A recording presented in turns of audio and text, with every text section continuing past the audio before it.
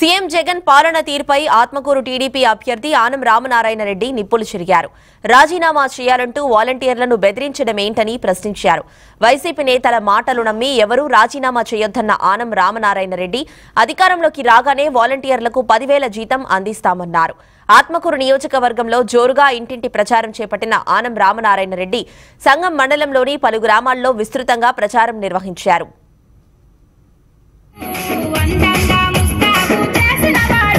గ్రామంలో మరొక విషయం చెప్తున్నాను.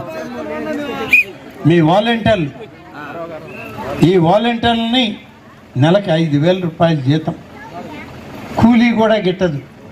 మీరు వ్యవసాయాన్ని కూలీని పెట్టుకుంటే కలుపు తీయడానికో నాట్లు వేయడానికో వరి కోతలకో లేకుంటే నీరు కట్టడానికో పెడితే మూడు వందల నుంచి ఐదు వందల రూపాయలు కూలీ ఇస్తున్నారు ఒక కూలీకి.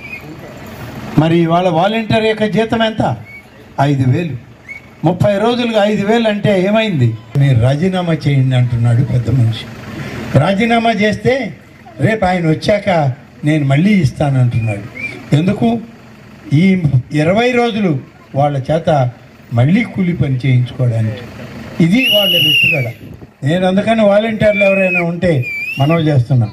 ఏ ఒక్కరు కూడా రాజీనామా చేయొద్దు. మీరు నిజాయితీగా మీ పని మీరు చేసుకోండి. రేపు చంద్రబాబు నాయుడు గారు ముఖ్యమంత్రి కాగానే ఐదు వేల రూపాయలు ఇస్తున్న జీతం పదివేల రూపాయలు చేయడం జరుగుతుంది.